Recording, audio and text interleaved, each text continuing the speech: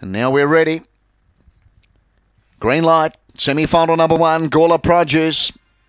Set.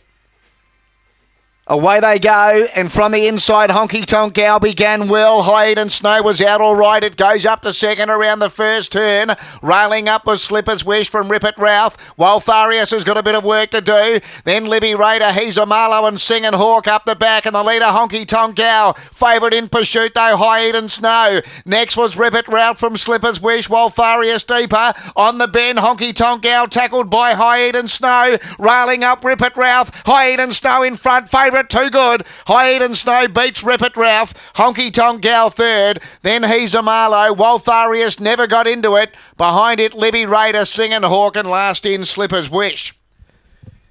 And Snow. A workman-like victory there.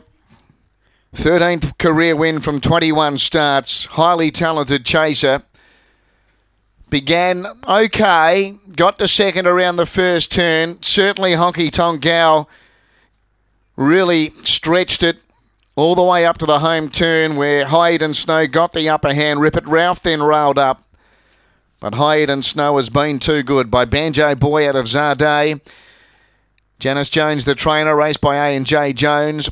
Three second Ripper Ralph by Lochinvar Marlow out of Ticket to Mars. Plenty about alike about its effort for Adam Manton. And one third, Honky Tonk Gal by Bella Infrared out of Honky Tonk Girl for Lauren Harris. Six ran fourth, he's a Marlow. 30.87 the gallop.